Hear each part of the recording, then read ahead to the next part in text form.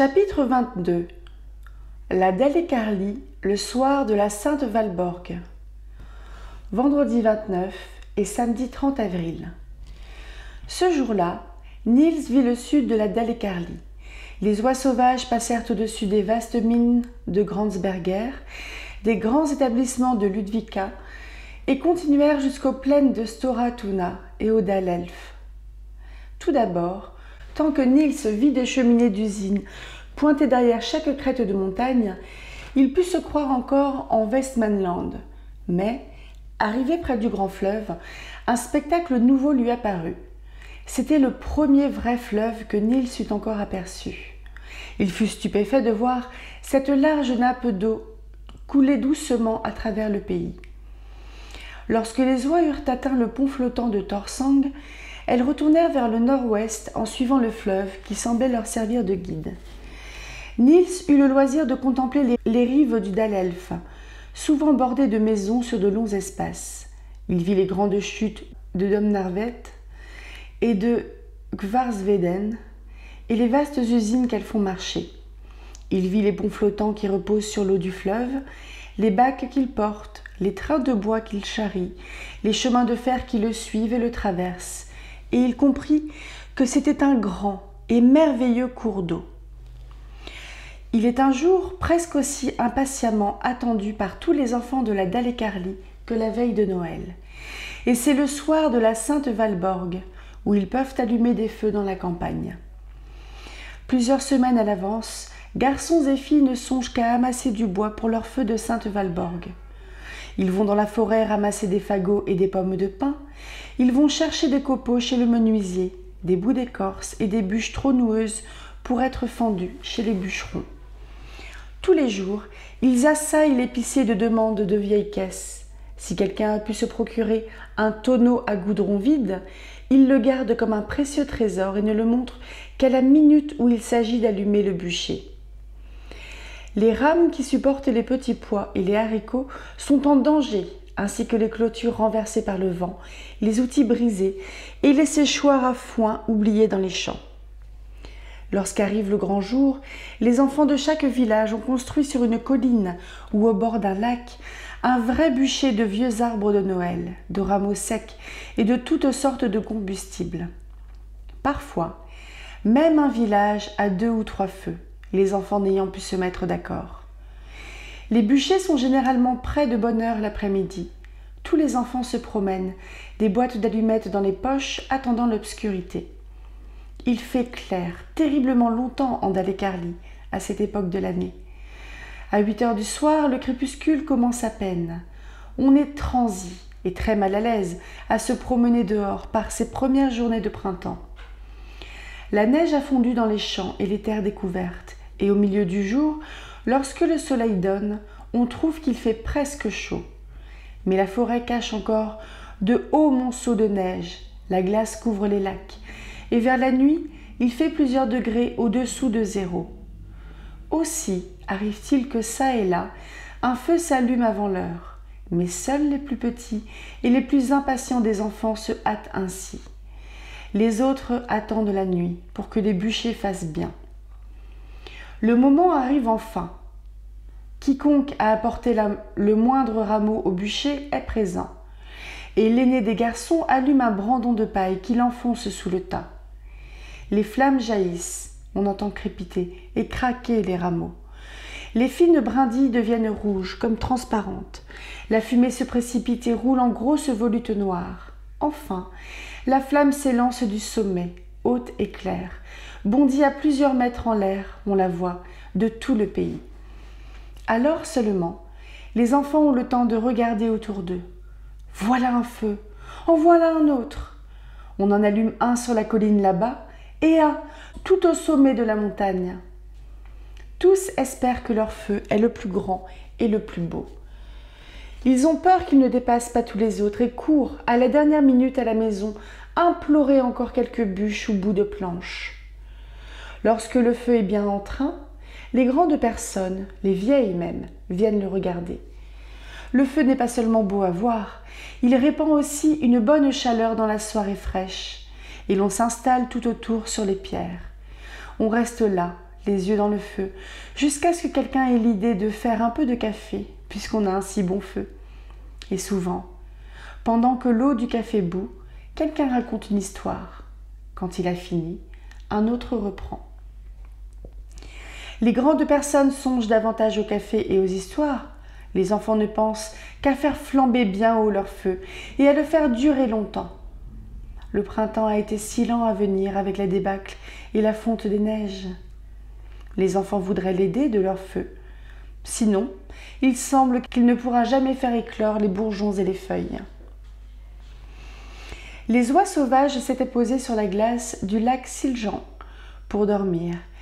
Et comme le vent qui venait du nord le long du lac était glacial, Niels s'était glissé sous l'aile du jar. À peine endormi, il fut réveillé par un coup de fusil. Il sortit vivement de dessous l'aile et regarda autour de lui, très effrayé. Sur la glace, tout était calme. Il eut beau guetter, il ne vit point de chasseurs. Mais jetant les yeux sur les rives du lac, il demeura ébahi et crut à une vision fantomatique, comme à Vinetta. Dans l'après-midi, les oies avaient plusieurs fois traversé le lac avant de se poser. En route, elle lui avait montré de grandes églises et des villages situés sur les bords du Siljan. Il avait vu Lexandre, Radvik, Mora, l'île Solero. Toute la contrée lui avait paru douce et souriante, beaucoup plus qu'il n'aurait cru. Il n'avait rien vu de sinistre ni d'effrayant. Or, voici que dans la nuit, sur ces mêmes rives, flambait une couronne de feu. Il les voyait brûler à Mora, au nord du lac, sur les rives de l'île Solero, dans Vicarbine, sur les hauteurs au-dessus du village de Surberg, sur la pointe de terre où se dresse l'église de Radvik, sur la montagne de l'Erdalen, sur toutes les collines et les caps jusqu'à Alexandre.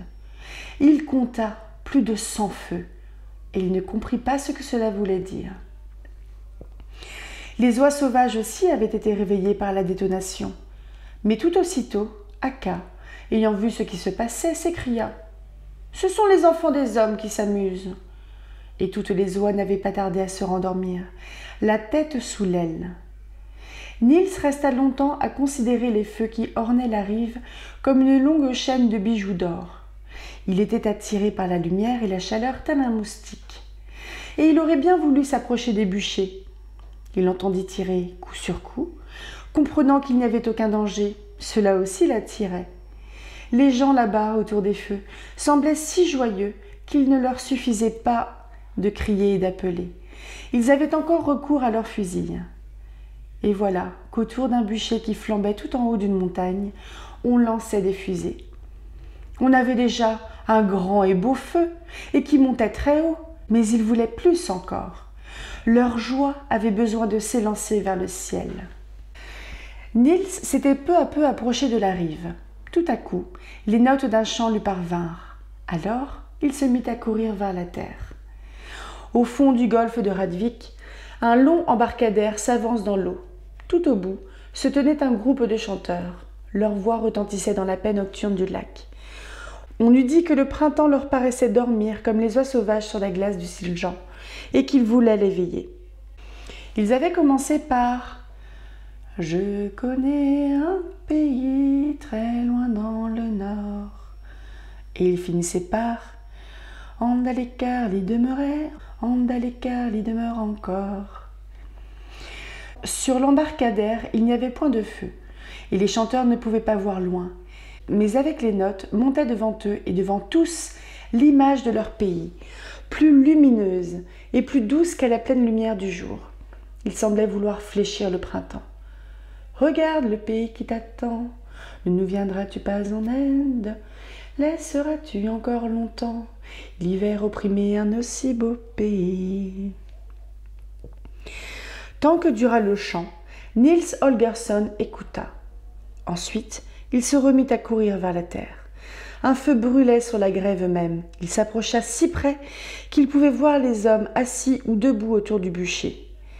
De nouveau, il se demanda si ce n'était pas un mirage. Jamais il n'avait vu de gens ainsi vêtus. Les femmes portaient des coiffes noires et pointues comme des cornets, de courtes jaquettes de cuir blanche, des fichus à ramages autour du cou, des corsages de soie vert et des jupes noires, dont le devant était orné de rayures blanches, rouges, vertes et noires.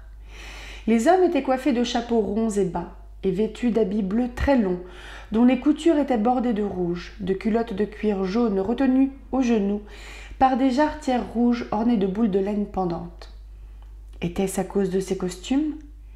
Il parut à Nils que ces gens-là ne ressemblaient pas aux habitants des autres provinces, qu'ils avaient l'air plus grands et plus nobles. Nils se rappela les anciens costumes que sa mère gardait au fond de son grand coffre et que personne en Scanie ne portait plus depuis longtemps. Lui était donc donné de voir des gens d'autrefois qui avaient vécu il y a cent ans. Ce ne fut qu'une idée qui lui passa par la tête. Il avait devant lui des hommes et des femmes bien vivants, mais les habitants de la Dalecarlie ont tant gardé du passé dans leur langage, leurs mœurs et leurs coutumes qu'il ne faut pas s'étonner de sa brève illusion. Autour des églises. Dimanche 1er mai. Quand il s'éveilla le lendemain matin et se laissa glisser sur la glace, Niels ne put s'empêcher de rire. Il était tombé une grande quantité de neige pendant la nuit, et il neigeait encore. L'air était plein du tourbillonnement d'énormes flocons. On eût dit les ailes de papillons tués par le froid et qui tombaient. Sur le lac Siljan, la neige formait une couche épaisse de plusieurs centimètres. Les rives en étaient couvertes. Les oies sauvages en avaient tant sur le dos qu'elles avaient l'aspect de petits tas neigeux. De temps en temps, Aka ou Ixi ou Kaxi bougeaient un peu, mais, voyant que la neige ne cessait de tomber, elles renfonçaient leur tête sous leur aile. Elles étaient évidemment d'avis que par un temps pareil, on n'avait rien de mieux à faire qu'à dormir, et Niels ne leur donnait point tort. Quelques heures plus tard, il se réveilla. Les cloches de Radvik appelaient au service divin. La neige avait cessé de tomber, mais le vent du nord soufflait très fort, et sur le lac il faisait terriblement froid. Nils fut content de voir les oies se secouer et de les accompagner vers la terre où elles allaient chercher à paître. C'était le jour de la première communion de l'église de Radvik, et les communiants, arrivés de bonne heure, formaient de petits groupes bavards devant l'église. Tous portaient le costume du pays, et leurs habits resplendissaient de couleurs. Chère mère Akka, vole un peu plus lentement pour que je voie la jeunesse, supplia Nils. L'oie guide jugea cette demande raisonnable. Elle s'abaissa aussi bas qu'elle osa et fit trois fois le tour de l'église.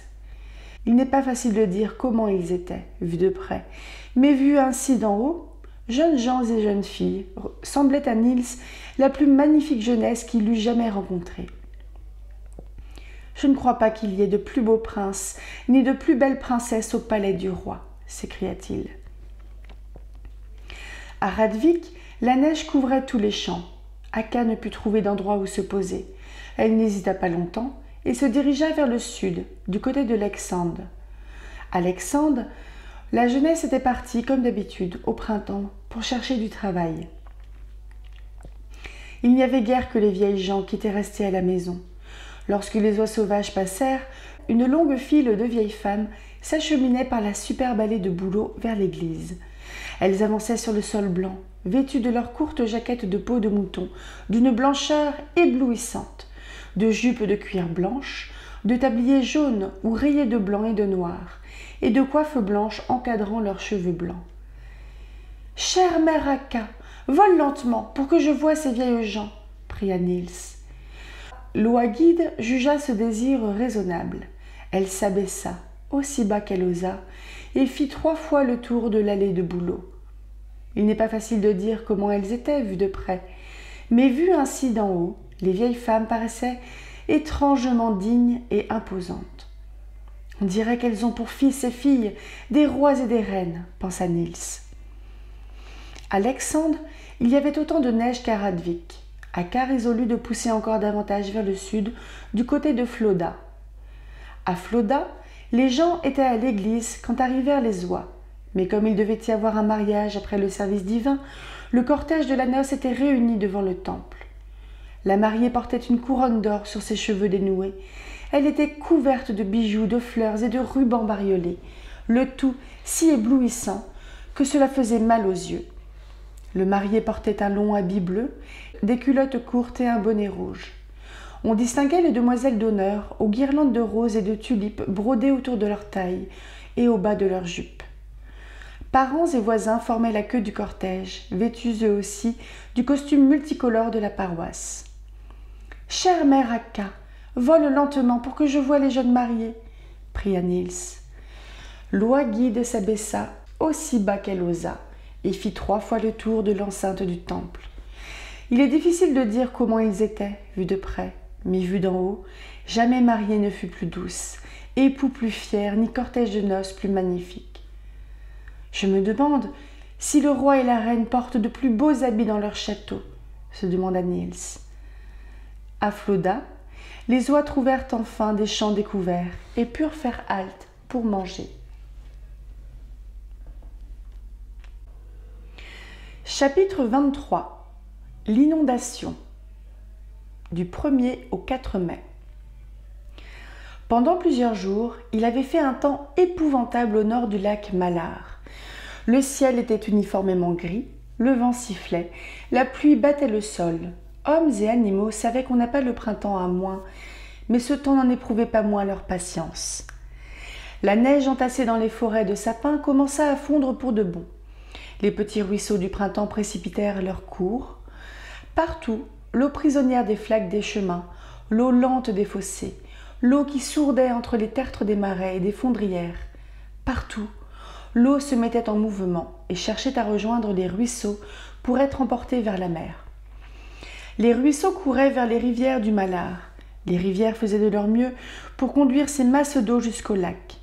Mais tout à coup, en une nuit, les nombreux petits lacs de Lapland et de Bergslag rejetèrent leur couverture de glace. Les rivières obstruées montèrent subitement. Sous cet afflux, le Malar se pressa vers son embouchure. Or, le Nordstrom qui le déverse est un passage étroit. Il ne peut, en pareil cas, assurer un écoulement assez rapide. Pour comble de malchance, un fort vent d'est soufflait, qui rejetait l'eau de la mer vers la terre et barrait le Nordstrom.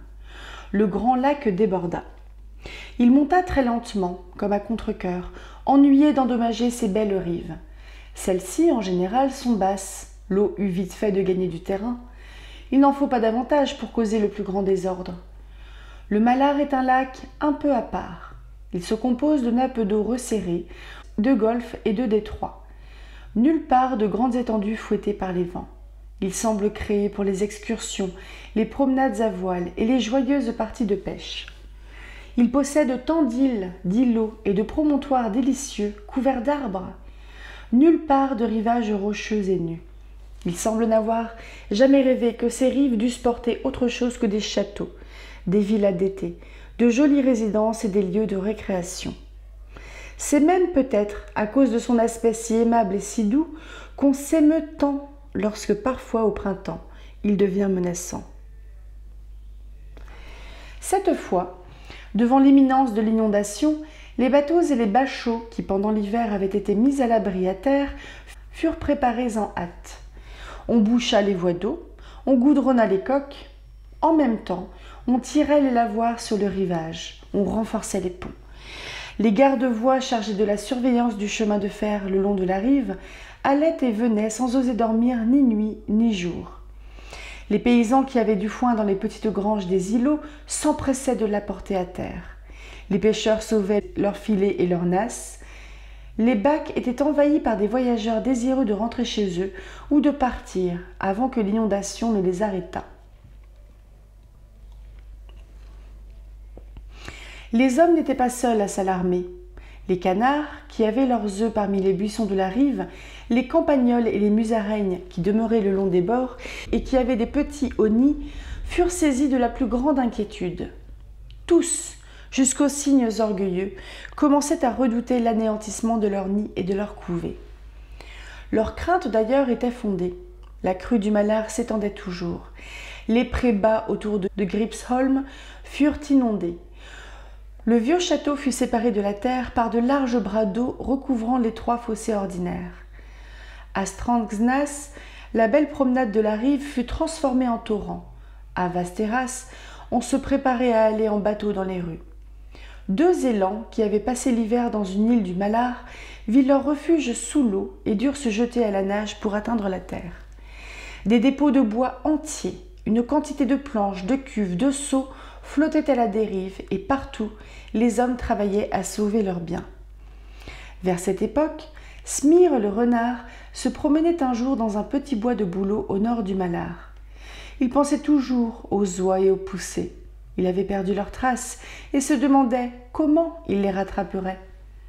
Or, dans son abattement, il aperçut Agar, le pigeon voyageur, posé sur une branche. Enchanté de te voir, Agar, dit Smir. Tu pourras peut-être me dire où se trouve en ce moment Aka de Kebnekaïs et sa bande? Il est possible que je le sache, répondit Agar, mais sois sûr que je ne te le dirai point. Peu importe, répondit avec indifférence Smir, si seulement tu acceptes de lui transmettre un message qu'on m'a confié. Tu sais dans quel état déplorable sont les rives du Malard. Il y a une grande inondation, et le nombreux peuple des cygnes qui habitent la baie de Gesta est sur le point de perdre ses nids et ses œufs. Lumière du jour, le roi des cygnes, a entendu parler du petit bonhomme qui accompagne les oies et connaît le remède à toutes sortes de maux. Il m'a chargé de prier Aka de venir avec poussée à la baie du Gelsta. Je puis bien transmettre le message, dit Agar, mais je ne vois pas comment ce petit bout d'homme pourrait secourir les cygnes. Moi non plus, dit Smir. Mais on dit qu'il vient à bout de toutes les difficultés. Je m'étonne aussi que le roi des cygnes envoie ses messages par un renard, objecta Agar. Nous sommes en effet ennemis en temps ordinaire, avoua Smir d'une voix très douce. Mais dans les grands désastres, il faut bien qu'on s'entraide. En tout cas, tu feras peut-être mieux de ne pas dire à Aka que tu tiens le message d'un renard, car elle ne laisse pas d'être assez soupçonneuse.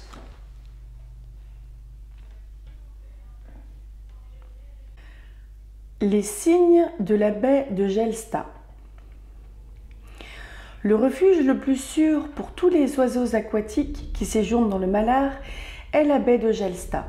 On appelle ainsi la partie la plus reculée du golfe d'Ekolsund, prolongement de la nappe d'eau du Björko, qui est la deuxième en grandeur des longues sinuosités par lesquelles le Malard s'enfonce dans le. La baie de Gelsta a des rives très basses. L'eau, peu profonde, est envahie par les bancs de roseaux. Elle offre une résidence excellente aux oiseaux qui y vivent en paix. Il y a là un peuple nombreux de cygnes. Le propriétaire de l'ancien domaine royal des Colsoun, situé tout auprès, a interdit la chasse dans la baie afin de ne pas les inquiéter. Aka, dès que le message lui fut parvenu, se rendit à la baie de Gelsta. Elle y arriva avec sa bande un soir et vit tout de suite l'étendue du, désastre. Les grands nids des cygnes, arrachés de leurs attaches, flottaient au gré des vents. Quelques-uns s'étaient déjà désagrégés, deux ou trois avaient chaviré, et les œufs qu'ils avaient contenus brillaient au fond de l'eau.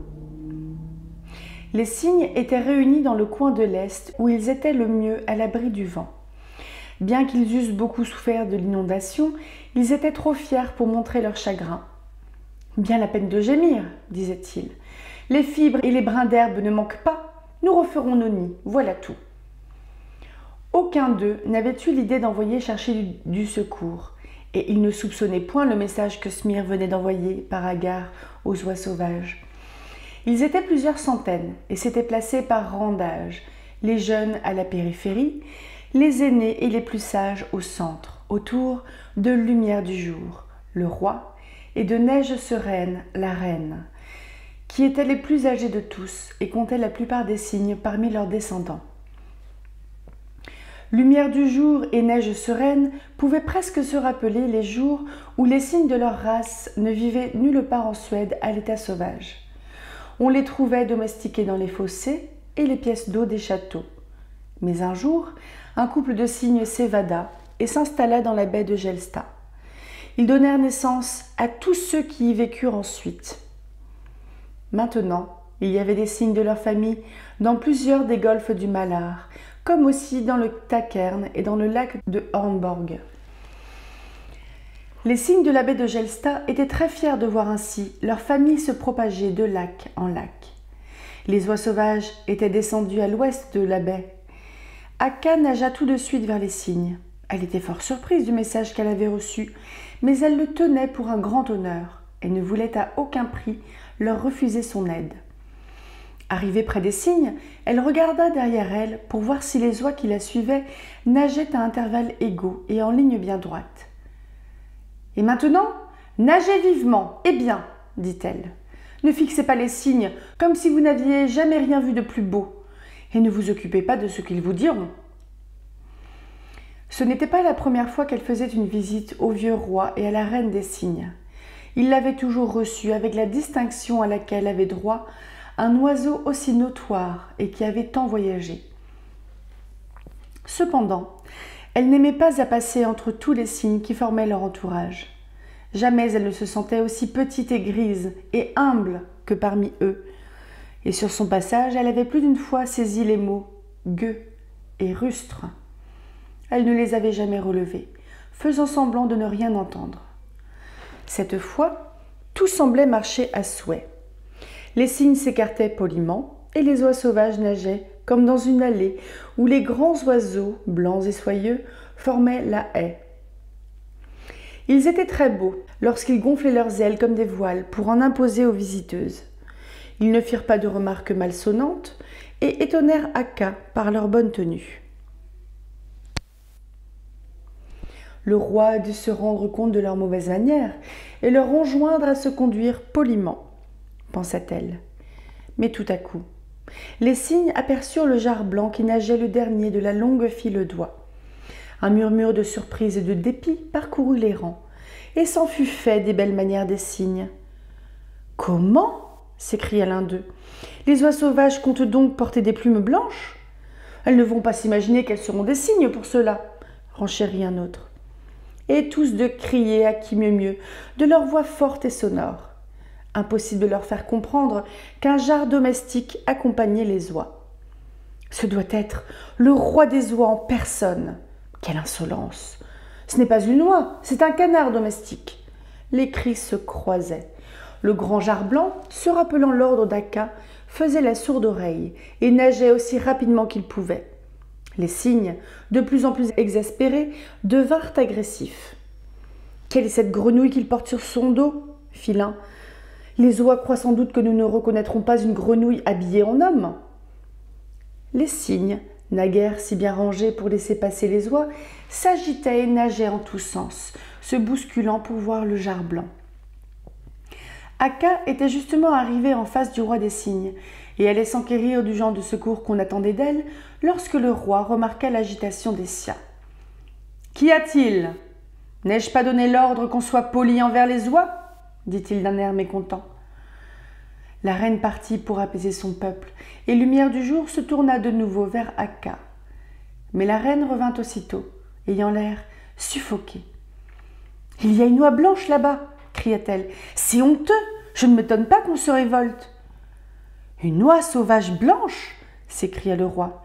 Quelle folie Il n'y en a point Tu as dû te tromper Autour du jar, la bousculade était à son comble. Akka et les autres oies essayaient en vain de nager vers lui. Alors le vieux roi, qui était plus fort que tous les autres, s'élança, écartant les cygnes et se frayant un chemin jusqu'au jar. Mais quand il vit le grand blanc, il se mit en colère comme les autres. Sifflant de fureur, il se précipita sur le jar et lui arracha deux plumes. Ça t'apprendra, jar, à venir parmi les cygnes ainsi attifés, cria-t-il. Envole-toi, jar, vole, vole, lui jeta Akka, car elle comprit que les cygnes lui arracheraient jusqu'à la dernière plume blanche. Envole-toi, envole-toi, cria aussi Poussé. Mais le jar serré entre les cygnes, n'avait pas assez de place pour lever ses ailes. De tous côtés, les cygnes tendaient leur bec vigoureux pour le plumer.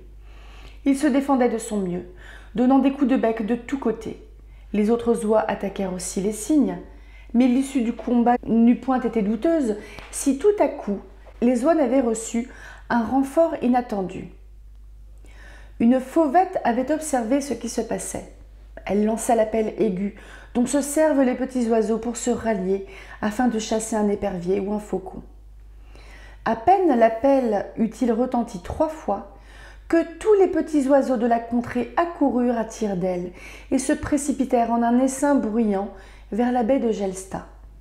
Ces petits êtres faibles se jetèrent sur les cygnes. Ils piaillaient à leurs oreilles, les aveuglaient avec leurs ailes, leur faisaient perdre la tête en criant Honte Honte, cygne Honte Honte, cygne L'assaut des petits oiseaux fut de courte durée. Mais lorsqu'ils furent partis et que les cygnes se furent ressaisis, les oies sauvages s'étaient envolés vers l'autre rive. Le nouveau chien de garde.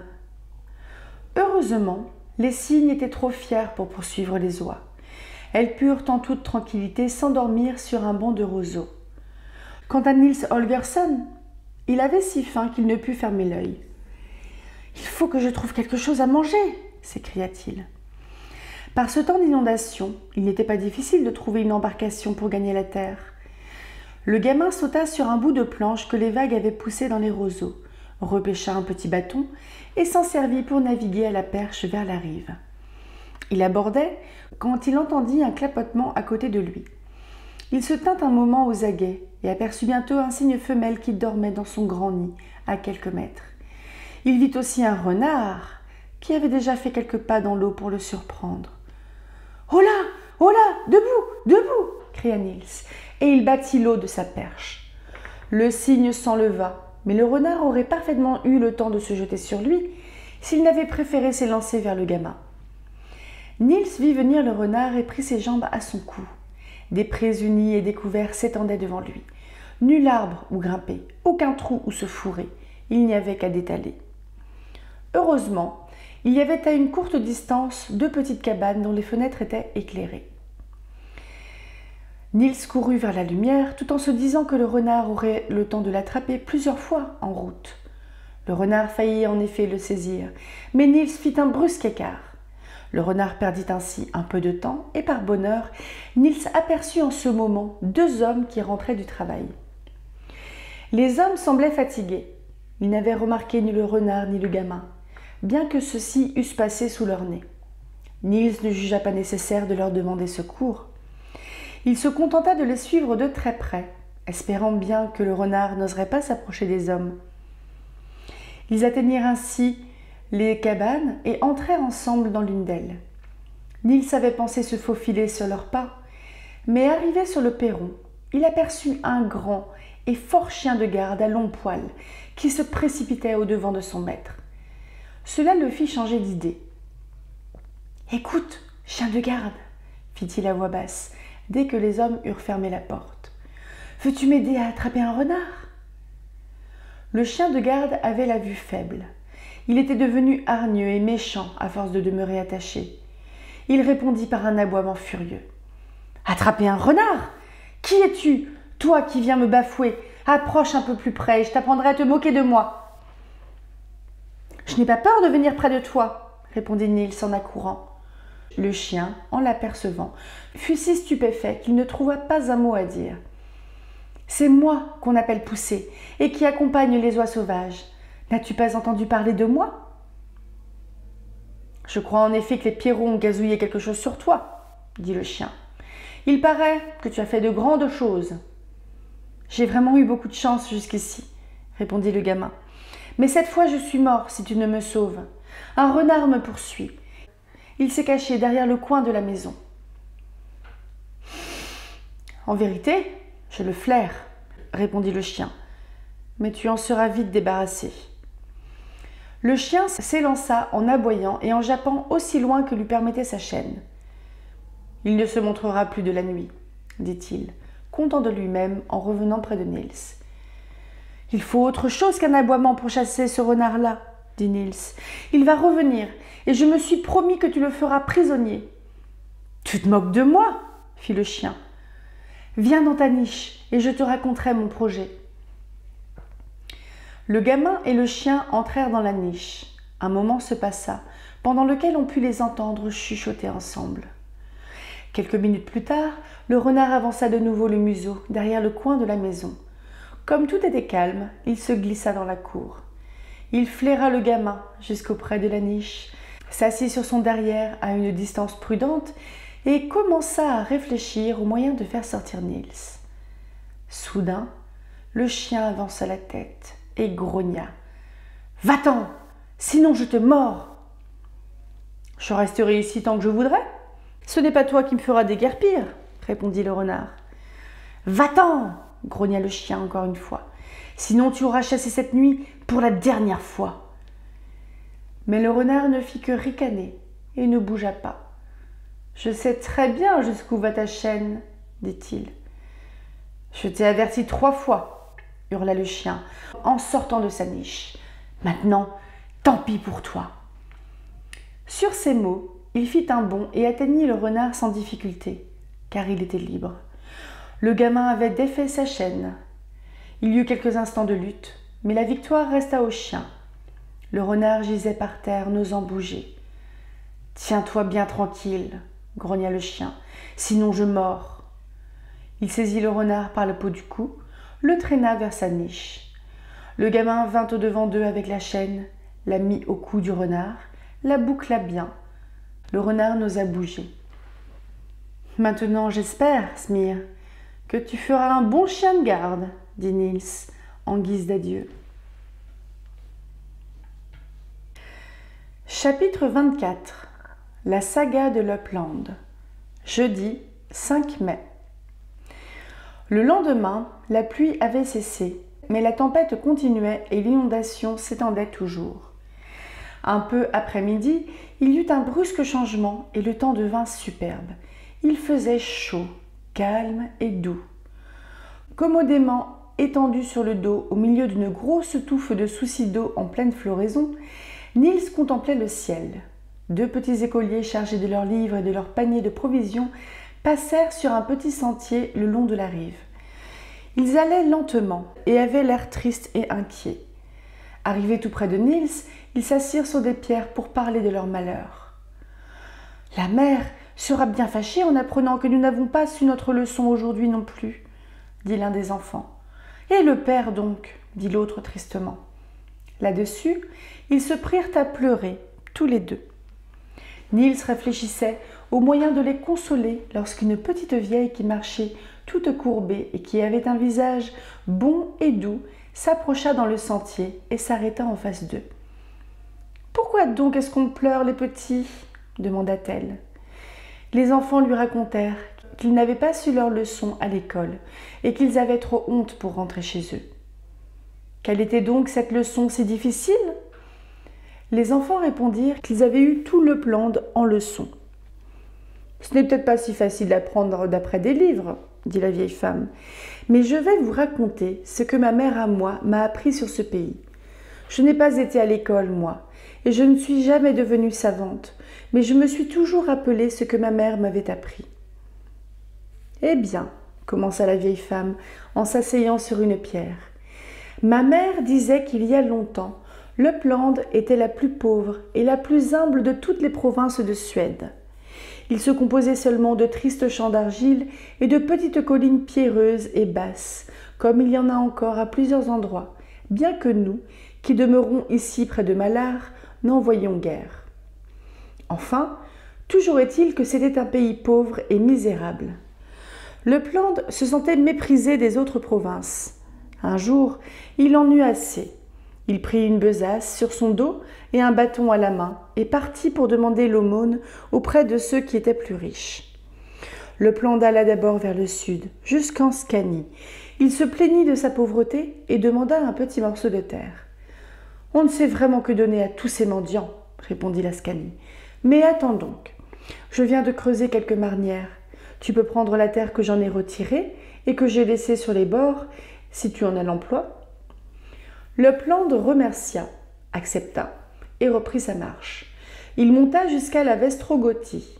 Là encore, il cria sa misère. Je ne puis te donner de terre, dit la Vestrogothie. Je ne fais pas cadeau de mes grasses campagnes à des mendiants. Mais si tu veux une de ces petites rivières qui serpentent dans ma grande plaine, tu peux la prendre? Le plan de remercia, accepta, et s'enfuit dans le Halland. Je ne suis guère plus riche que toi en terre, dit le Halland, mais si tu estimes qu'ils en valent la peine, tu pourras détacher du sol quelques monticules pierreux. Le Plande, ployant sous sa besace, alla voir le beau Uslan. Là, il eut la permission de ramasser autant de petits îlots nus et d'écueils qu'il voulait. Ça ne paye pas de mine, dit le beau Uslan, mais ils sont bons comme abri contre le vent. Ils pourront être utiles, puisque tu demeures comme moi sur la côte. Le plante se montrait reconnaissant de toutes ses aumônes. Il ne refusait rien, bien qu'on lui donnât partout les choses auxquelles on ne tenait point. Le Vermland lui donna un peu de son sol de granit, le Westmanland une partie des longues crêtes qui le traversent. L'Ostrogothie lui fit cadeau d'un coin de sa sauvage forêt de Colmarden, et le Smaland lui remplit presque son sac de marais, de morceaux de pierre et de bouts de bruyère. La Sudermanie ne voulut se défaire que de quelques baies du Malar. La Délécarlie tenait aussi trop à ses terres pour les donner. Elle offrit en revanche une portion du Dalelf. Finalement, le Plandre reçut du Nerk quelques-uns des nombreux prés marécageux des rives du Jalmar. Son sac était si plein qu'il s'en retourna chez lui. Il vida sa besace et fit l'inventaire de ce qu'il avait rapporté. Il ne put s'empêcher de penser que c'était une terrible collection de choses de rebut. Il se demandait en soupirant comment il allait pouvoir en tirer parti. Du temps passa. Le plan rester chez lui, s'occupant à ranger et ordonner ses affaires. Or, voilà qu'on commença à discuter pour savoir où habiterait le roi et où serait située la capitale de la Suède. Toutes les provinces se réunirent pour délibérer. Bien entendu, toutes voulaient accaparer le roi, et l'on disputa ferme. Mais avis que le roi doit élire domicile dans la province qui est la plus capable et la plus sage, dit le Plande. Tout le monde fut d'accord pour trouver bonne cette proposition. Il fut donc décidé que la province qui manifesterait le plus d'intelligence et de sagesse logerait le roi et la capitale. À peine rentrées chez elles, les provinces reçurent une invitation de Lapland à un banquet. Qu'est-ce que ce pauvre gueux peut bien avoir à offrir? dirent-elles dédaigneusement. Cependant, elles acceptèrent l'invitation. Arrivées en Upland, elles n'en revenaient pas de ce qu'on leur montra. Elles trouvèrent la province bâtie, à l'intérieur se dressaient des fermes superbes. Les côtes étaient garnies de villes, les eaux remplies de navires. C'est honteux, demandiez, lorsqu'on est si à son aise, murmurait-elle. Je vous ai invité ici pour vous remercier de vos cadeaux, dit le Plande, car c'est grâce à vous que je me tire si bien d'affaires à présent. Dès mon retour, je commençai par amener le Dalelf dans mon domaine je me suis arrangé pour avoir deux chutes d'eau magnifiques. L'une à Soderforce, l'autre à Elfkarleby. Au sud du fleuve, à Dannemora, j'ai placé le sol de granit que m'avait donné le Vermland. Je suppose même que le Vermland n'a pas bien regardé ce qu'il m'a donné, car ce granit n'était autre que du superbe minerai de fer. Là, tout autour, j'ai planté la forêt que j'ai reçue de l'Ostrogothie. Lorsque, de cette façon, il y eut au même endroit du minerai, des chutes d'eau, une forêt pour fournir du charbon de bois. Il fut évident que j'aurais une riche contrée minière. Après avoir aussi bien arrangé le nord, j'ai étendu les crêtes du Westmanland jusqu'au Malar, en y formant des promontoires, des caps et des îles, qui se sont couverts de verdure et sont devenus beaux comme des jardins. Les baies que m'avait abandonnées la Sudermanie, je les ai fait entrer comme des fjords très profondément dans le pays, que j'ai ainsi ouvert à la navigation et au commerce du monde. Le nord et le sud achevés, je me suis occupé de la côte de l'Est, et là j'ai tiré grand profit des écueils, des monceaux de pierres, des bruyères et des landes que vous m'aviez donnés, et je les ai lancés dans la mer. De là, toutes mes îles et mes îlots, qui m'ont été si utiles pour la pêche et la navigation que je les compte comme mon bien le plus précieux. Cela fait, il ne me restait plus de tous vos cadeaux que les tertres de Marne que j'avais reçus de l'Ascanie. Je les ai étendus au beau milieu des terres. Ils forment maintenant la fertile plaine de Vaxala. La petite rivière paresseuse que l'Ostrogothie m'avait donnée, je lui ai tracé un chemin à travers cette plaine pour établir une communication commode avec le Malar. Les autres provinces comprirent alors comment les choses s'étaient passées. Un peu dépitée, elle dut reconnaître que le Plande avait bien su conduire ses affaires. Tu as fait de grandes choses, avec de petits moyens, dirent-elles. De nous tous, c'est toi qui as fait preuve de la plus grande capacité et de la plus grande sagesse. Voilà une bonne parole, dit Lapland. Puisque vous parlez ainsi, je vous prends au mot. C'est moi qui logerai le roi et la capitale.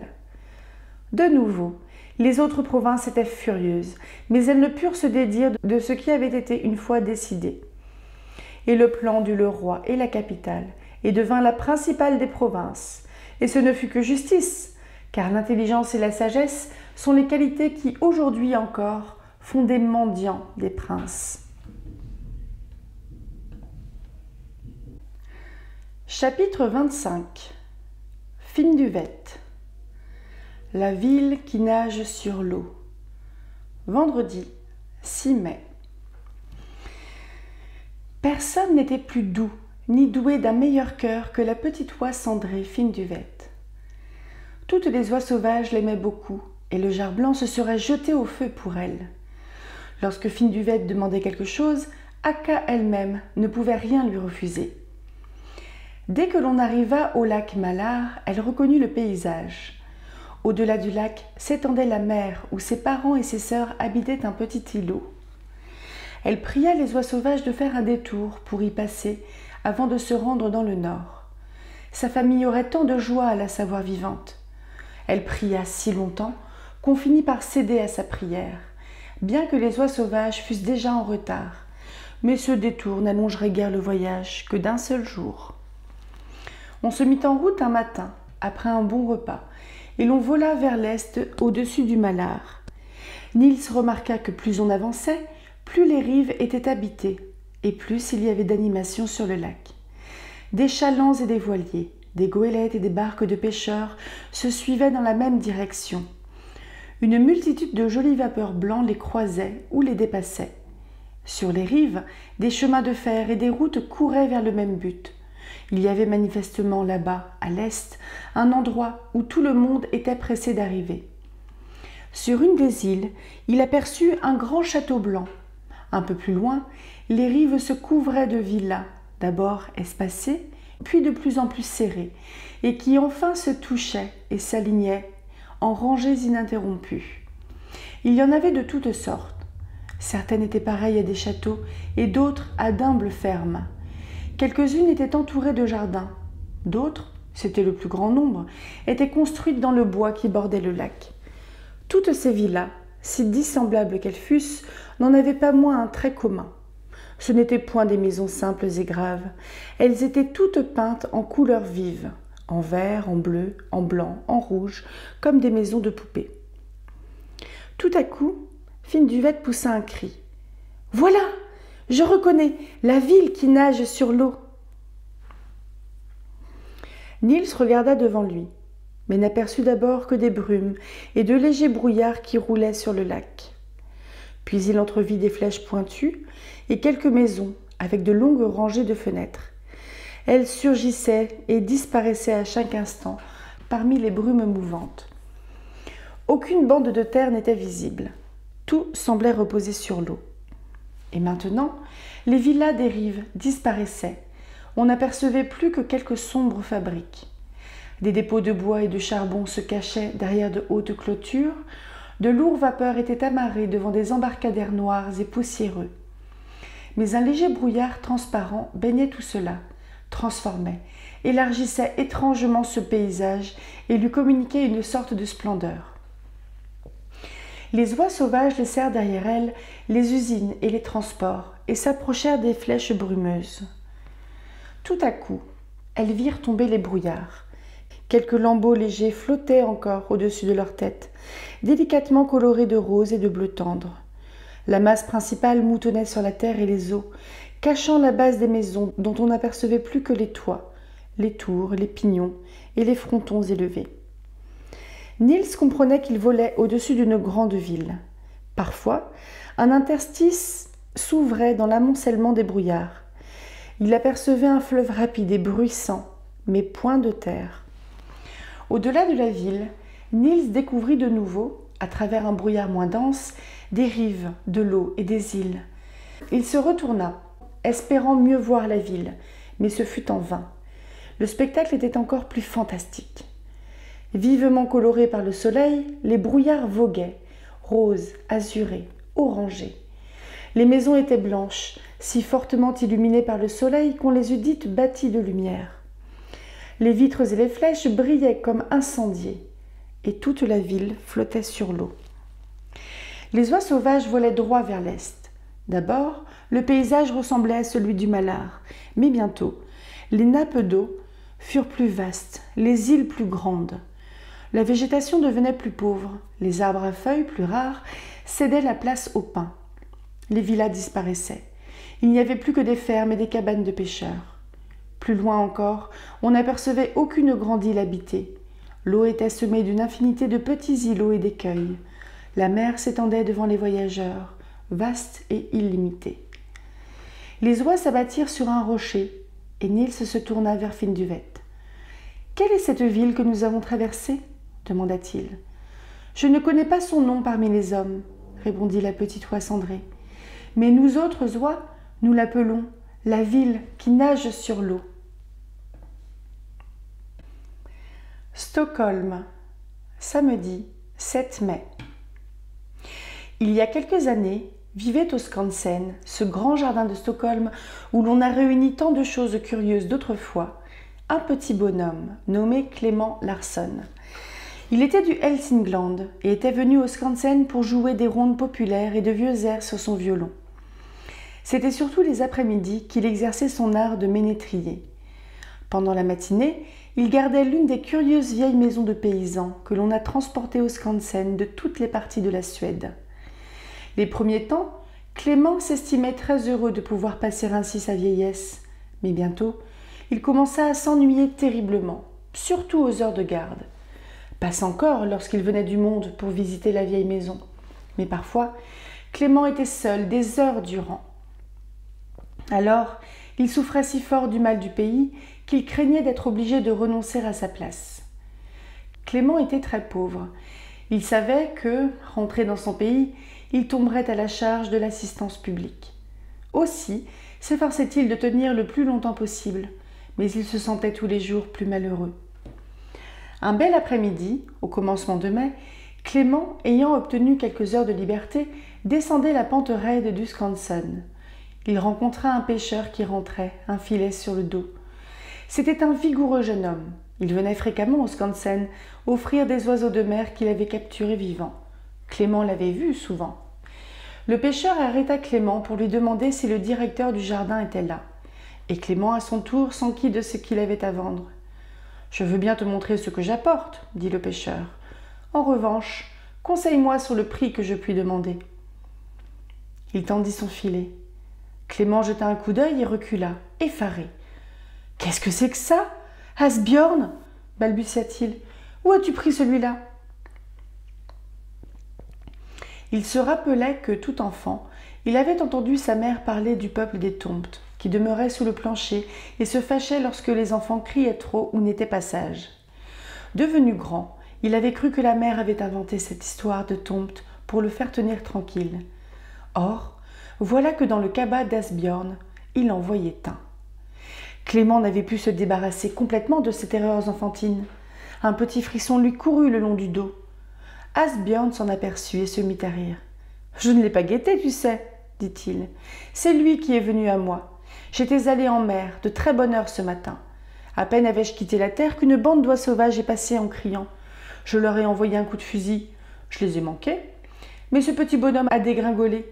Il est tombé à l'eau si près de mon bateau que je n'ai eu qu'à étendre le bras pour le prendre. Il n'a pas été atteint, au moins, Asbjorn? demanda Clément. Non, non, il est sain et sauf. En tombant, il ne savait pas d'abord où il était, et je lui ai attaché les pieds et les mains avec un bout de ficelle pour qu'il ne se sauve pas. Je me suis dit tout de suite que c'était quelque chose pour le Skansen. Clément se sentit l'âme oppressée. Tout ce qu'il avait entendu raconter dans son enfance sur les gens du petit peuple, leur esprit vindicatif et leur promptitude à secourir leurs amis, lui revint en mémoire. Jamais il n'avait eu de chance, ceux qui avaient essayé de retenir un tombe prisonnier. Ne dit-il rien? demanda Clément. Si. Au début, il essaya d'appeler les oiseaux, mais je l'ai bâillonné pour l'en empêcher. Mais Asbjorn À quoi penses-tu? s'écria Clément, effrayé. Ne comprends-tu pas que c'est un être surnaturel? Je ne sais ce que c'est, répliqua Asbjorn, impassible. Que d'autres en décident. Je serai content seulement si on me l'achète. Dis-moi maintenant ce que tu penses que le directeur m'en donnera. Clément garda un moment le silence. Une véritable angoisse lui étreignait le cœur. Il lui semblait que sa vieille mère était à côté de lui, le suppliant d'être bon pour le peuple des petits. Je ne sais ce que le directeur t'en donnerait, Asbjorn, dit-il. Mais moi, je t'offre vingt couronnes, si tu veux me le laisser. Ébahi, le pêcheur regarda Clément, en s'entendant offrir cette grosse somme. Il se dit que Clément croyait sans doute le tombe doué d'un pouvoir secret et qu'il pourrait lui être utile. En outre, il avait vaguement l'impression que le directeur serait moins généreux. Il accepta. Le ménétrier fourra le tombe dans une de ses larges poches, retourna au Skansen et entra dans une des cabanes où il n'y avait ni visiteur ni gardien. Puis, ayant refermé soigneusement la porte, il saisit son prisonnier qui avait encore les pieds et les mains liés et la bouche bâillonnée et le posa sur la table. Et maintenant, écoute bien ce que je te propose, dit Clément. Je sais que les êtres de ton espèce n'aiment pas à être vus des hommes, et qu'ils veulent besogner et travailler seuls. J'ai donc pensé te rendre la liberté, mais à la condition expresse que tu restes ici dans le jardin, jusqu'à ce que je te permette d'en sortir. Si tu acceptes, tu hocheras la tête trois fois. Clément regardait avec espoir le tombe, mais celui-ci demeura immobile.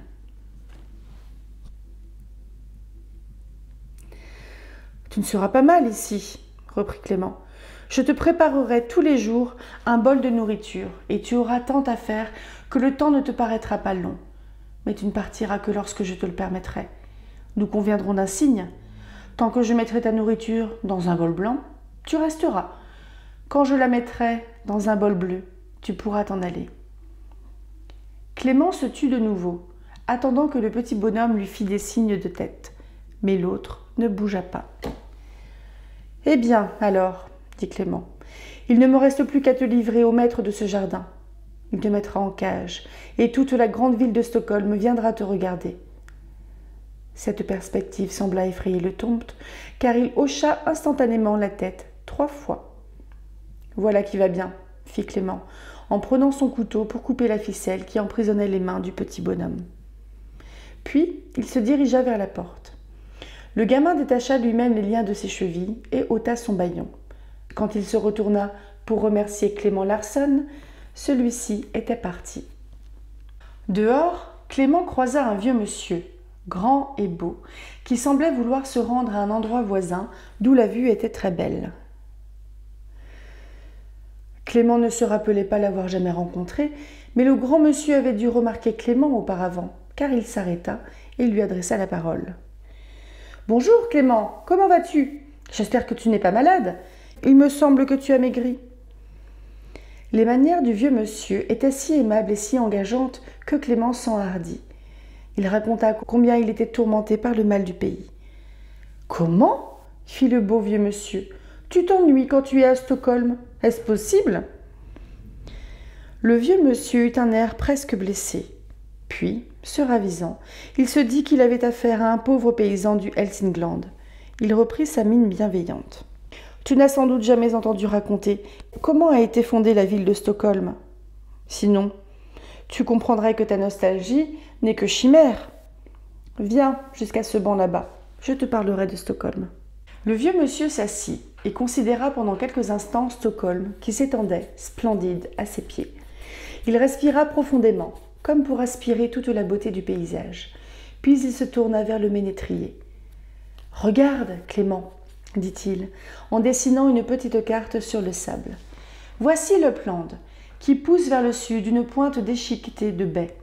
Et voilà la Sudermanie, qui vient à sa rencontre avec une autre pointe également déchiquetée. Un lac vient à l'ouest, rempli d'îles, c'est le Malar.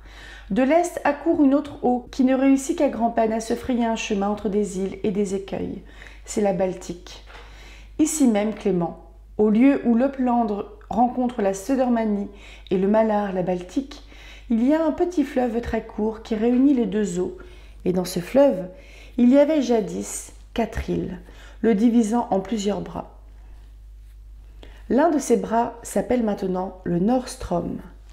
Ces îles n'étaient au début que des îlots boisés ordinaires, tels qu'il y en a tant dans le Malard. Pendant très longtemps, elles sont restées inhabitées. Personne ne remarquait leur situation favorable entre deux provinces et deux grandes eaux. Les années passaient. Des gens vinrent habiter les îles du Malard et celles de la Baltique, mais les îles du fleuve n'avaient toujours pas d'habitants. Parfois, il arrivait qu'un navigateur y abordait et y dressait sa tente pour une nuit. C'était tout. Or, un jour, un pêcheur s'était attardé à la pêche dans le Malard. Rentrant chez lui, il fut surpris dans la Baltique par l'obscurité. Il résolut d'aborder dans l'un des quatre îlots pour y attendre que la lune se levât. C'était à la fin de l'été. Il faisait encore chaud et beau, bien que les soirs fussent déjà sombres. Le pêcheur s'étendit dans l'herbe, la tête contre une pierre, et s'endormit. Quand il se réveilla, la lune était levée depuis longtemps. Elle éclairait si magnifiquement la terre qu'on se serait cru en plein jour. Il sauta sur ses pieds et se prépara à remettre son bateau à flot. Tout à coup, il aperçut au loin des points noirs qui remuaient. C'était une bande de phoques qui se dirigeait droit vers l'île.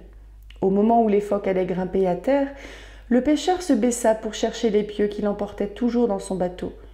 Quand il se redressa, les phoques avaient disparu. À leur place, il y avait sur la rive les plus belles jeunes filles, vêtues de longues robes traînantes de soie verte et couronnées de perles. Le pêcheur comprit C'étaient des ondines qui demeuraient loin dans la mer et qui avaient pris l'apparence de phoques pour venir à terre s'amuser au clair de lune sur les îles vertes. Après les avoir regardées danser un moment sous les arbres, il se glissa vers la rive, saisit une des peaux de phoque que les ondines y avaient laissée et la cacha sous une pierre. Puis il regagna son bateau, s'y coucha et fit semblant de dormir. Bientôt, il vit les jeunes vierges redescendre vers la rive pour revêtir de nouveau les peaux de phoque. Elles s'habillaient avec des joyeux rires et mille jeux, mais bientôt ce furent des plaintes et des cris. L'une d'elles ne pouvait retrouver son vêtement. Elles couraient toutes sur la rive en cherchant, mais en vain. Tout à coup, elles s'aperçurent que le ciel pâlissait et que le jour approchait. Elles n'osèrent plus rester à terre et se sauvèrent en nageant, toutes sauf une, celle qui n'avait pu retrouver sa peau de phoque. Elle demeura au bord de l'eau à sangloter. Le pêcheur avait certes pitié d'elle, mais il se domina et resta caché jusqu'au jour. Alors il se leva, poussa à l'eau son bateau, et comme s'il l'apercevait tout à coup, il lui dit, après avoir démarré Qui es-tu? Es-tu naufragé L'ondine, en le voyant, courut vers lui, et dans sa détresse lui demanda s'il avait vu sa peau de phoque. Le pêcheur fit l'étonné, comme s'il ne comprenait même pas ce qu'elle voulait dire. Alors elle s'assit sur une pierre et pleura. Le pêcheur lui proposa de venir chez lui, où sa mère la soignerait. Tu ne peux rester toute la nuit ici, où tu n'as ni lit, ni rien à manger. Il parlait doucement et la persuada de l'accompagner. Le pêcheur et sa mère furent très bons envers la pauvre ondine. Elle sembla se plaire parmi eux. Tous les jours elle devenait plus gaie, aidant la vieille femme dans le ménage, et parfaitement semblable à une jeune fille des îles, sauf qu'elle était plus belle que toutes les autres. Un jour, le pêcheur lui demanda si elle voulait être sa femme. Elle répondit oui, sans hésiter. On prépara le mariage. À cette occasion, la fiancée revêtit la robe verte et flottante et la couronne de perles scintillantes qu'elle portait lorsque le pêcheur l'avait vue pour la première fois. Puis, les fiancés et le cortège de noces prirent place dans les bateaux pour aller à l'église dans le Malard. Le pêcheur conduisait sa fiancée et sa mère. Il manœuvra sa barque si habilement qu'il laissa derrière lui tous les autres. Arrivé devant l'île où il avait trouvé Londine, qui maintenant, fière et parée, était assise à côté de lui, il ne put réprimer un sourire. De quoi ris-tu? demanda-t-elle. Je pense à la nuit où j'ai caché ta peau de phoque, répondit le pêcheur. Il se sentait si sûr d'elle qu'il ne croyait plus avoir besoin de rien lui cacher. Qu'est-ce que tu dis? demanda la fiancée. Ma peau de phoque? Elle semblait avoir tout oublié. Tu ne te rappelles donc plus comme tu dansais avec les ondines? Demanda-t-il. Je ne sais ce que tu veux dire. Je crois que tu as fait un rêve étrange cette nuit. Et si je te montrais la peau, me croirais-tu? dit le pêcheur, en dirigeant la barque vers l'île. Ils débarquèrent. Le pêcheur chercha la peau qui était restée sous la pierre où il l'avait cachée. Dès qu'elle l'aperçut, l'épousée la lui arracha des mains, la jeta sur ses épaules, où elle s'adapta comme vivante, et se jeta dans le fleuve. Le marié la vit s'éloigner rapidement. Il essaya en vain de se précipiter à sa poursuite. Désespéré, il saisit alors son épieu et le lança. Il réussit mieux qu'il n'eût certes voulu. La pauvre Ondine poussa un cri déchirant et disparut dans les profondeurs. Le pêcheur demeurait sur la rive, s'attendant à la voir reparaître. Tout à coup, il vit l'eau briller d'un doux éclat et comme s'animer d'une beauté nouvelle. Elle miroitait et scintillait et répandait un éclat rose et blanc pareil à celui qui joue à l'intérieur des coquilles. Lorsque cette eau miroitante vint battre les rives, elles semblèrent aussi se métamorphoser. Elles embaumèrent plus fort.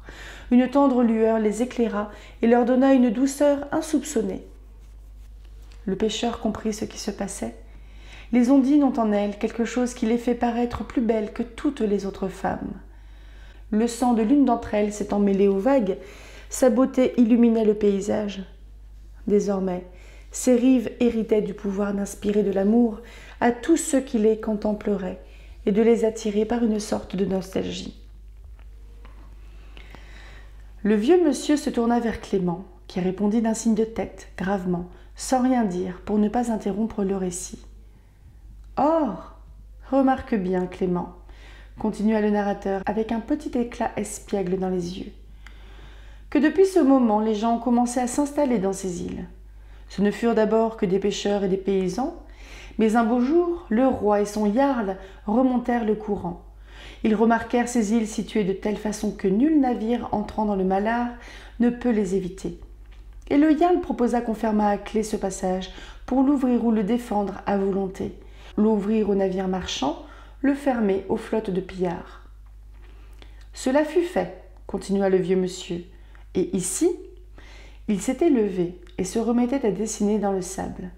Sur la plus grande des îles, le Jarl éleva un fort donjon. Autour de l'île, les habitants construisirent des murs. Ils relièrent par des ponts les quatre îles et les munirent toutes de tours. Et dans l'eau tout autour, ils enfoncèrent un cercle de pieux avec des barrières par où les navires étaient forcés de passer. Tu vois donc, Clément, que les quatre îlots si longtemps inhabités étaient devenus de vraies forteresses. Or, ces rives et ces détroits attirèrent fortement les hommes. On accourut de tous côtés pour s'installer ici. Bientôt, les habitants commencèrent à bâtir une église, qui par la suite fut appelée la Grande Église. Elle était située tout contre le donjon. À l'intérieur des murs s'abritaient les petites cabanes que les habitants s'étaient bâties. Elles étaient peu considérables, mais il n'en fallait pas davantage à cette époque-là pour mériter le nom de ville et la ville fut appelée Stockholm et s'appelle ainsi encore aujourd'hui. Un jour, le Yal qui avait mis ce travail en train ferma les yeux pour toujours, mais Stockholm ne manqua pas de constructeurs. Des moines appelés frères gris vinrent s'établir en Suède. Ils demandèrent au roi l'autorisation de bâtir ici un couvent. Le roi leur donna un petit îlot, puis vinrent d'autres moines appelés frères noirs ils construisirent leur couvent près de la porte méridionale de l'île de la Cité. Sur un autre îlot, au nord, fut élevé un hôtel-dieu ou hôpital. Ailleurs, des hommes industrieux établirent un moulin. Dans les eaux environnantes, les moines pêchaient. Les petites îles furent vite couvertes de maisons. Aussi, lorsque des femmes pieuses de l'ordre de Sainte-Claire vinrent demander du terrain, on ne put leur offrir que la rive au nord des îles. Elles n'en furent certes pas très satisfaites, car il y avait là une hauteur où la ville avait installé son gibet. Elles n'en bâtirent pas moins, au pied de la colline, un couvent et une église, et leur voisinage attira d'autres gens. Tout en haut, un hôpital s'éleva bientôt, ainsi qu'une église, placée sous l'invocation de Saint Georges. Outre les religieux et les religieuses, il vint beaucoup d'autres gens, et d'abord une foule de commerçants et d'artisans allemands. Plus habiles que leurs confrères suédois, ils furent très bien accueillis. Ils s'établirent dans la cité même, en dedans des murs, rasèrent les petites vieilles cabanes et bâtirent de superbes maisons de pierre. Comme la place était très restreinte, ils durent serrer les maisons les unes contre les autres et tourner les pignons vers les ruelles étroites. Tu vois, Clément, que Stockholm avait le pouvoir d'attirer les hommes. À ce moment, un autre monsieur s'avança dans l'allée, mais celui qui causait avec Clément fit un signe de la main et l'autre demeura à distance. Et maintenant, Clément, tu vas me faire un plaisir, poursuivit le vieux monsieur. Je n'ai plus le temps de causer avec toi, mais je t'enverrai un livre sur Stockholm que tu liras. Je t'ai pour ainsi dire fait assister à la fondation de Stockholm. Tu étudieras toi-même comment la ville s'est développée, comment l'étroite petite cité, sainte de remparts, s'est transformée en cette vaste mer de maisons que nous voyons à nos pieds. Lis dans le livre comment le lourd donjon a cédé la place au beau et clair château en face de nous, comment l'église des frères gris est devenue la sépulture des rois de Suède. Lis dans le livre comment les jardins des maraîchers au sud et au nord de la ville sont devenus de beaux jardins et des quartiers habités, comment les détroits ont été comblés et les collines aplanies. Lis dans le livre comment le parc des rois a été transformé en un lieu de plaisance aimé du peuple. Tu dois te familiariser avec la ville, Clément, car cette ville n'appartient pas au seul Stockholmien. Elle t'appartient à toi et à toute la Suède. Rappelle-toi, Clément, en lisant l'histoire de Stockholm, ce que je t'ai dit. Stockholm a le pouvoir d'attirer tout le monde. D'abord, le roi s'est installé ici, puis les hauts seigneurs y bâtirent leur palais. Et maintenant, Stockholm ne s'appartient point seulement à lui-même, non plus qu'à la région environnante. Il appartient à tout le royaume. Et lorsque tu entendras parler dans ton livre de toutes les choses qui sont réunies à Stockholm, Clément, pense aussi à ce qu'on a rassemblé ici, au Skansen. Voici de vieilles maisons. On danse ici les danses anciennes. Voici de vieux costumes, de vieux ustensiles de ménage.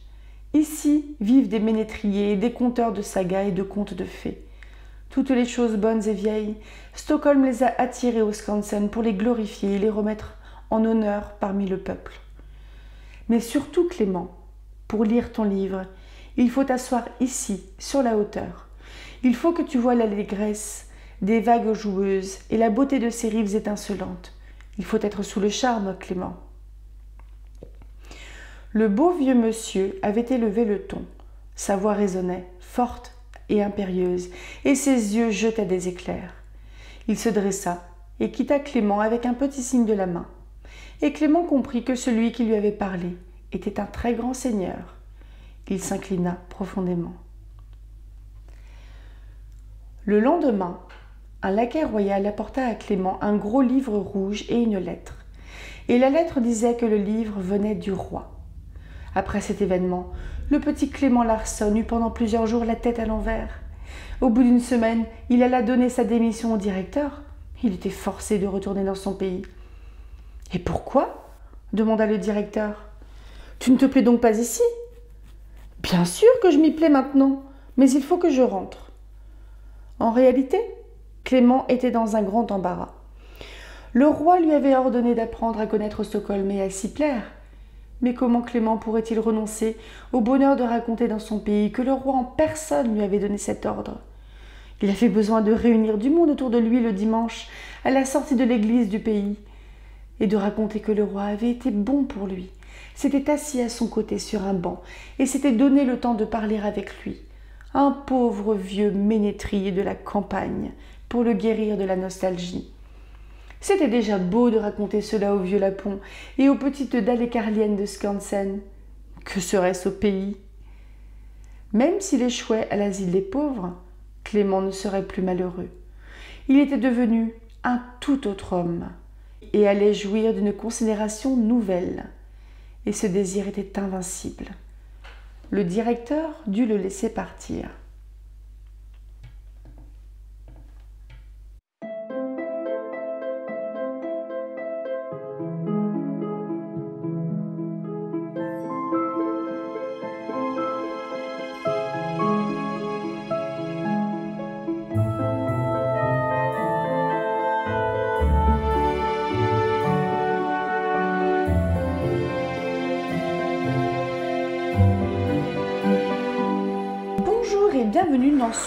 Vlog lecture sur le merveilleux voyage. Euh, on a lu pas tant que ça de, chapitres. Attendez, je, vous dis combien. Ah bah si quand même. On a lu les chapitres 22, 23, 24 et 25, sachant que euh, surtout le dernier, il y en avait quelques-uns qui étaient longs. Et pour ceux qui notent euh, en termes de pourcentage, on est à 70%. Ce qui me fait dire, parce que j'étais en train de faire un petit calcul un peu à la mort moelle je pense qu'il reste deux, mais plutôt trois vlogs lecture. Donc trois, euh, samedis et ça sera fini. Donc fin mai, fin mai, on va, ou mi-mai même, on va pouvoir trouver un, nouveau recueil ou un nouveau, euh, roman un peu à la mode conte. Donc je ne sais pas sur quoi je peux repartir ensuite. Mais revenons à notre Nils qui continue son voyage. Euh, je suis en train de regarder. Donc on avait la Dalle Carly le soir de la Sainte Valborg avec l'histoire des feux.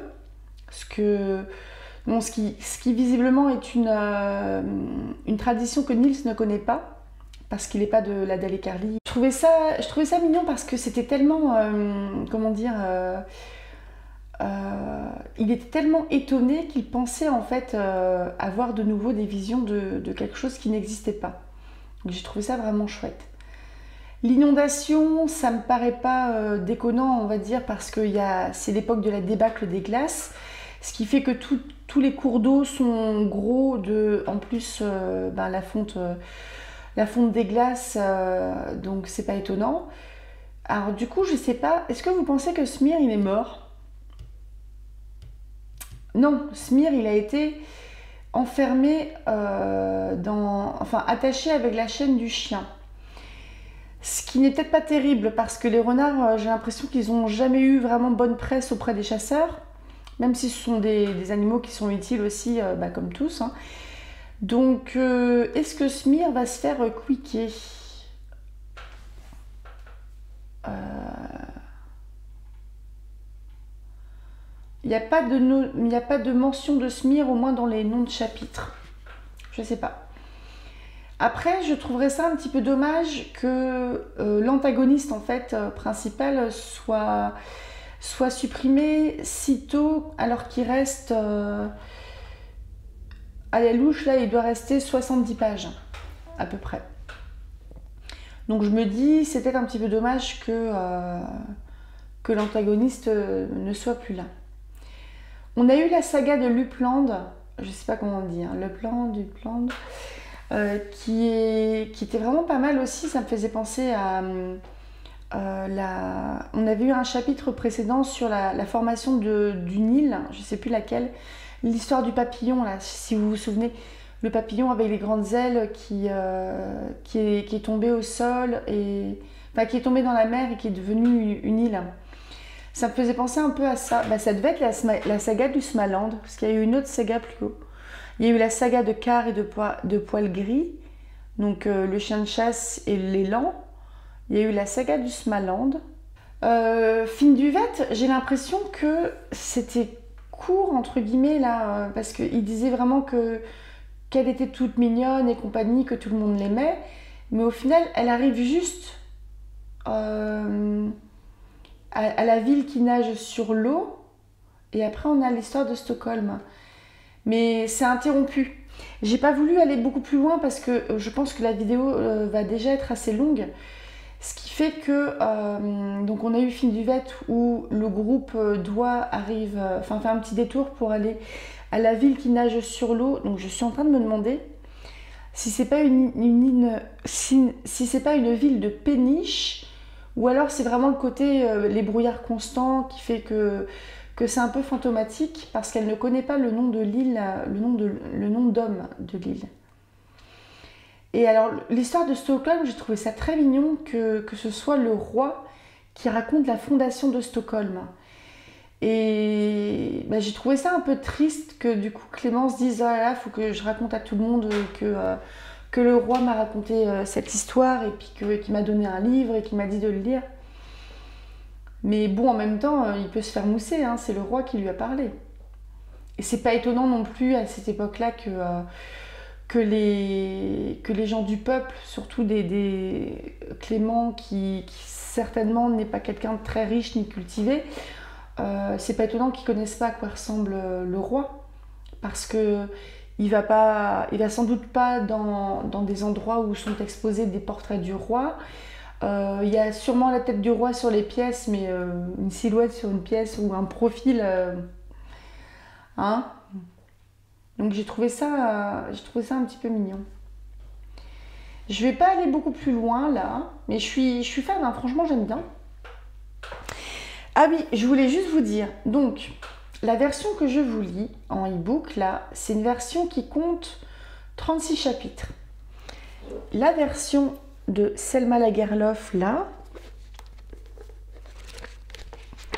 alors déjà c'est écrit très petit. Et je suis à 42 chapitres. Donc j'ai fait un petit comparatif. Parce que ce qui m'étonne en fait, c'est que la préface, euh, préface, j'ai vérifié vite fait, c'est la même. Bon, il y a bien eu de la coupe. Alors n'hésitez pas à me dire si vous voulez que, bon bah, ils seront lus à la fin, parce que j'ai déjà dépassé ce qui a été, euh, ce qui a été dépassé mais euh, je peux noter les chapitres qui, euh, sont manquants dans, euh, dans mon e-book, mais je peux vous les lire qu'à la fin par contre. Donc je suis désolée. Ça va un petit peu être chiant aussi par rapport au découpage, parce que là vous allez avoir le découpage du truc. Mais je peux les lire, hein, parce que à, vue de nez, bah, ça fait six chapitres. Ça peut faire un je peux faire un, tout regrouper en, un seul moment si ça suit évidemment. Mais je, vais comparer. Je vais, comparer et, euh, je vous dirai. Euh, j'ai pas spécialement d'idée euh, de, choses à lire par la suite. Ah si, je m'étais dit que j'allais lire du Perrault pour changer un peu. Mais par contre, si vous avez des exemples comme ça de, de, romans qui sont très très inspirés de contes, qui sont libres de droit évidemment et libres de traduction, euh, n'hésitez pas à me dire parce que j'ai l'impression qu'en fait euh, le merveilleux voyage il euh, dénote un petit peu par rapport au roman habituel.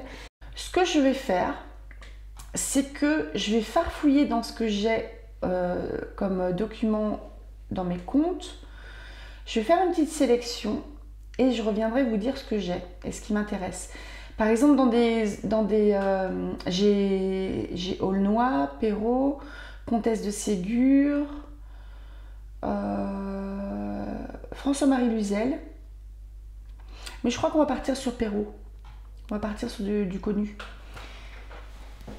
Et cet été, je pense que je vais repartir sur, euh, les mille aussi, parce que c'est valeur sûre.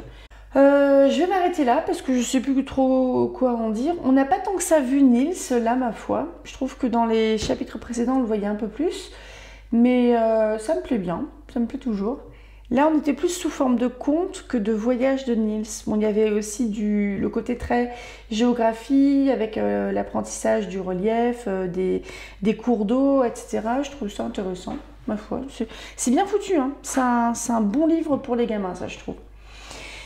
Euh, à tout bientôt. À demain pour ceux qui veulent pour le, la première lecture du fantôme de l'opéra de Gaston Leroux. Et je pense que lundi, je ne l'ai toujours pas enregistré, mais euh, je pense que je vais commencer les caractères de la bruyère. J'ai commencé également, si ça vous intéresse, à, à, écrire, parce que ça sera des vidéos qui demanderont de l'écriture, les clés de lecture. Donc je pense faire des clés de lecture sur Gargantua de Rabelais, euh, sur la lettre écarlate de Nathaniel Hawthorne, la peau de chagrin de, euh, la peau de chagrin de Balzac, J'irai faire fouiller sur ce qu'il ce y a eu d'autres, euh, s'il y avait d'autres choses compliquées, mais je ferai, je ferai peut-être des vidéos le mardi aussi de temps en temps sur Jane Austen, parce que je suis en train d'en lire, de lire des, œuvres de jeunesse de Jane Austen pour faire une petite vidéo du mercredi. Passez un très bon samedi. N'hésitez pas à me dire ce que vous voulez que je vous lise. Et vous, qu'est-ce que vous lisez ces temps-ci, d'ailleurs? Hein? Bonne question. Profitez bien de votre week-end. Salut